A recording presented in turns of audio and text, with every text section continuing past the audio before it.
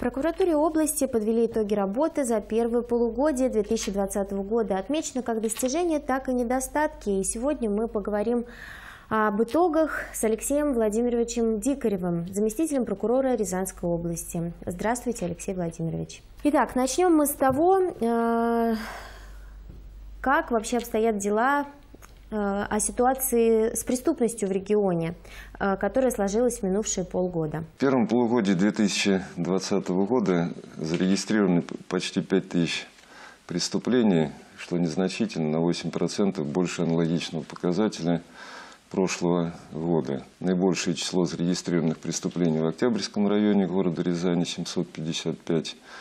В других районах города Рязани – порядка 620-640 преступлений. Структура преступности практически не изменилась.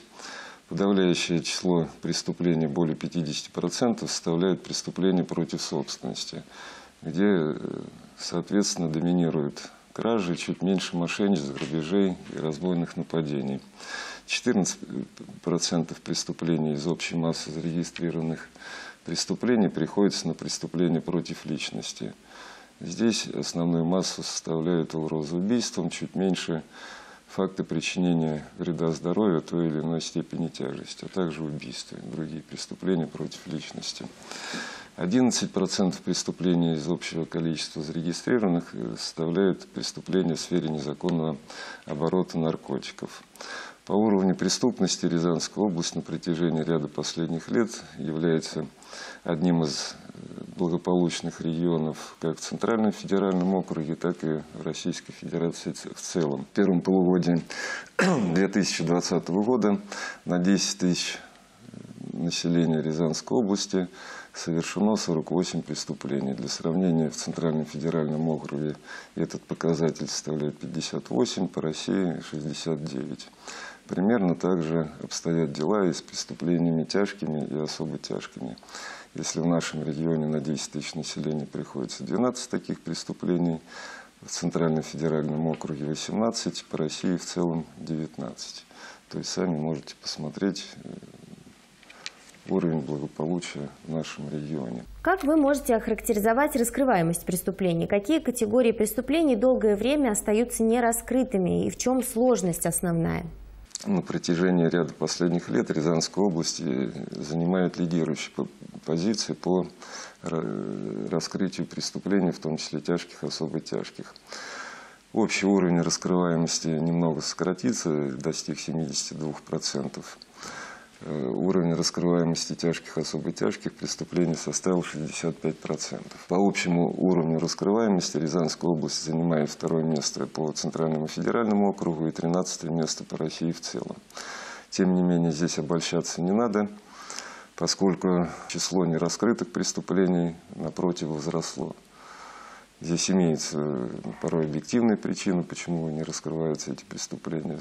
Ну, я уже перечислял проблемы с раскрытием преступлений в сфере информационных телекоммуникационных технологий, когда по сети интернет трудно отследить организаторов и посредников этой деятельности. Телеф... Э, мобильное мошенничество, где также трудно отследить. Достаточно сказать, что уровень раскрываемости мошенничества у нас э, меньше 40%.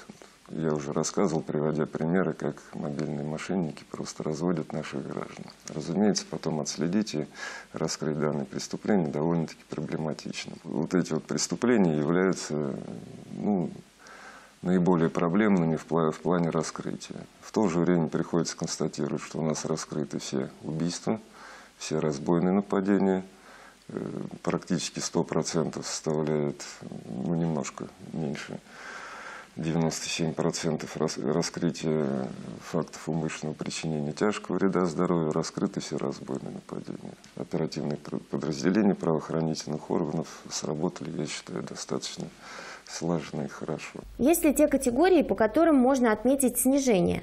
Принятые меры позволили сократить количество и удельный вес тяжких, особо тяжких преступлений – Заметно сократилось число совершенных в Рязанской области фактов умышленного причинения тяжкого вреда здоровью потерпевшим, а также разбойных нападений и грабежей. Тем не менее, приходится констатировать, рост совершенных в первом полугодии текущего года убийств. У нас их в первом полугодии совершено 29. Заметно увеличилось число совершенных преступлений против половой неприкосновенности личности.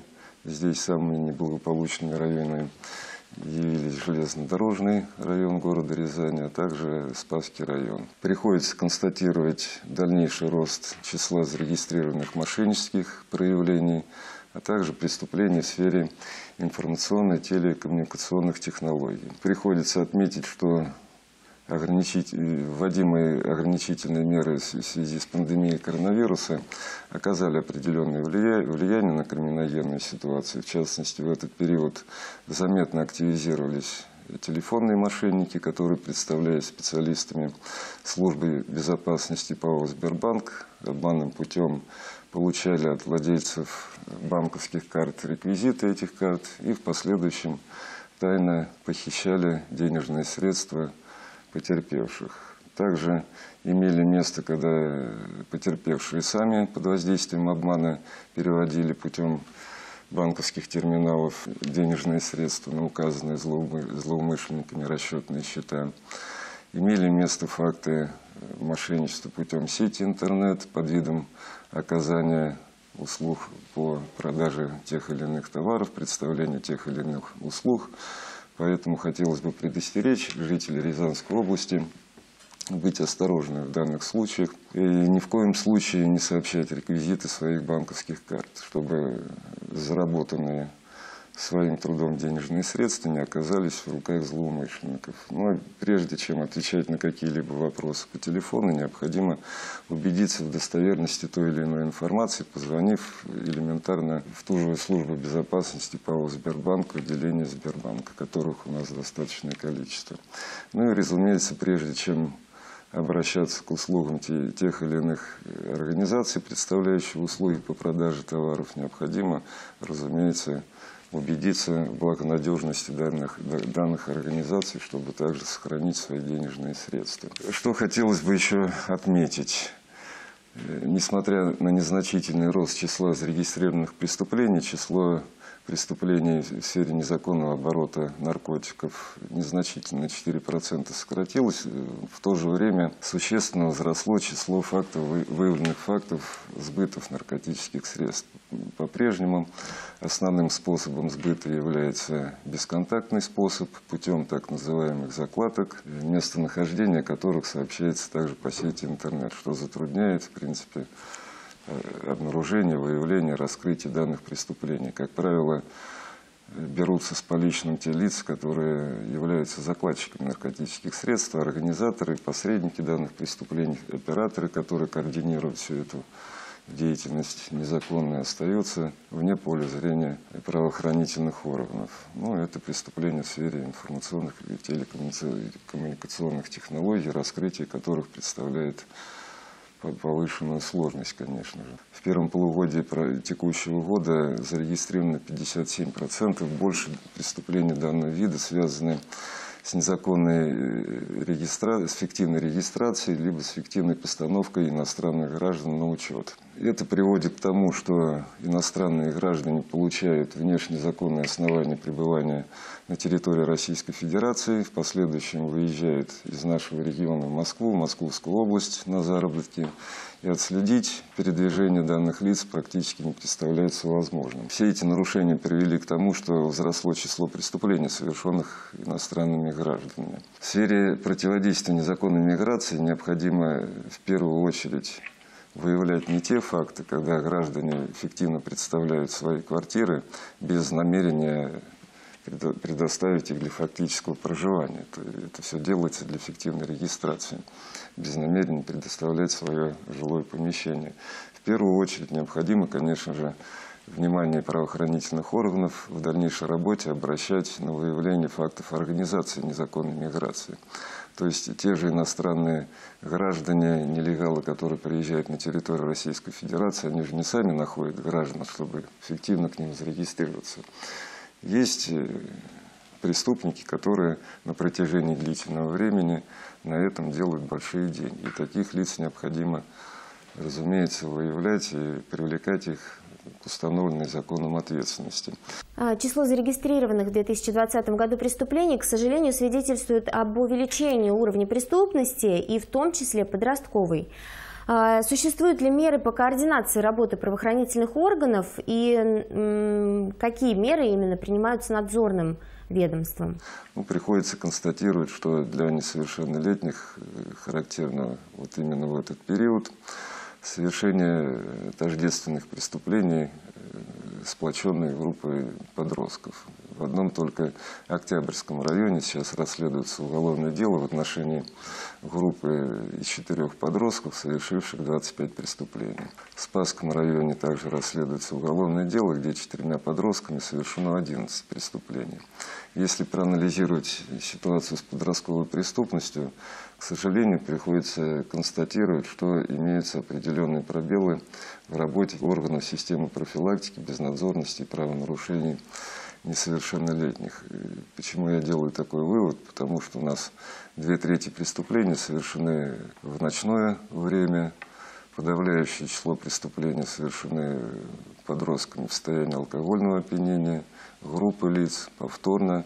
Это все говорит о том, что органы системы профилактики не дорабатывают. Органами прокуратуры проводятся на системной основе проверки, как в образовательных организациях, в комиссии по делам несовершеннолетних, которые являются координаторами этой работы, так и в органах внутренних дел. Выявляются многочисленные нарушения, связанные в том числе с формальным подходом профилактической работе по выявлению трудных подростков, неблагополучных семей, где не уделяется должного внимания воспитанию и образованию подростков. Не выявляются причины условия, способствующие совершению правонарушений и преступлений, разобщению сплоченных э, групп подростков, которые совершают многочисленные преступления. На эти нарушения органами прокуратуры в первом полугодии текущего года выявлено 700 нарушений, на которые вносились соответствующие меры прокурорского реагирования. Виновные лица должностные были привлекались к соответствующей ответственности. Тем не менее, вот эта тенденция роста этих преступлений, совершаемых подростками, говорит о том, что этих мер все-таки недостаточно. Прокуратурой осуществляется проверка достоверности уголовно-правовой статистики. Много ли удалось э, выявить укрытых от учета преступлений и какие правоохранительные органы допускают такие нарушения? Удалось ли устранить э, прокуратуре в первом полугодии такие нарушения? Прокурорами, конечно же, выявлялись определенные нарушения как э, при осуществлении оперативно-розыскной деятельности, почти 2000 нарушений мы выявили, приносили на них меры прокурорского реагирования с целью их устранения. Выявлены нарушения при осуществлении оперативно-розыскной деятельности, связанные не только с допускаемой волокитой, отсутствием наступательности в работе, непроведение в полном объеме тех мероприятий, которые связаны с выявлением преступления, розыском преступности. Ну и порой эти нарушения влияют на конституционные права граждан. Это при проведении тех или иных оперативно-розыскных мероприятий, которые э, нарушают неприкосновенность жилища и так далее. То есть мы реагировали на эти нарушения, нарушения устранялись. В сфере уголовно-правовой регистрации также продолжали иметь место нарушения, связанные в первую очередь с необоснованным отказом возбуждения уголовных дел, в том числе в тех случаях, когда в материалах проверки имелись явные признаки преступления. Тем не менее, отказывалось в возбуждении уголовных дел. Прокуроры, конечно же, реагировали, отменяли незаконные решения. Следует отметить, что число укрытых прокурорами поставленных на учет преступлений возросло на 18% и составило 413. То есть, по сути, каждое 13 из зарегистрированных преступлений э, было поставлено на учет по инициативе прокурора. Кроме этого, прокуроры, проводя общенадзорные проверки, общеуголовные проверки, выявляли также нарушения, направляли постановления для привлечения к уголовной ответственности тех или иных лиц. По этим постановлениям также органами предварительного расследования возбуждались уголовные дела. Выявлялись нарушения не только на стадии уголовно-правовой регистрации при учете рассмотрения сообщения о преступлениях, но и при расследовании уголовных дел, в частности, многочисленные факты принятия незаконных решений о прекращении уголовных дел приостановлении предварительного расследования, имели факты незаконного возбуждения уголовных дел, которые отменялись прокурорами. Эта работа проводится на системной основе. Итак, итоги первого полугодия подведены. Есть ли задачи на второе полугодие? Итоги подводились и в прокуратуре области, и в Генеральной прокуратуре. Э, органы прокуратуры нацелены на обеспечение реализации национальных проектов, на противодействие коррупции, экстремизму, терроризму. Особенно в единый день голосования мы сейчас эту определенную работу проводим, обращаем большое внимание на антитеррористическую защищенность образовательных учреждений в период начала нового учебного года и тех учреждений, организаций, где будут проводиться выборы. Разумеется, эта работа проводится на системной основе. Органы прокуратуры также нацелены на противодействие преступлениям в сфере легализации доходов, добытых преступных путем, в сфере обороны промышленного комплекса, в сфере лесопользования, в сфере безопасности дорожного движения. Особое внимание генеральным прокурором и прокурором области обращалось на защиту прав несовершеннолетних в том числе и в сфере уголовного судопроизводства. Права несовершеннолетних должны защищаться в первую очередь. Алексей Владимирович, спасибо вам за беседу. Мы прощаемся с нашими телезрителями. До свидания.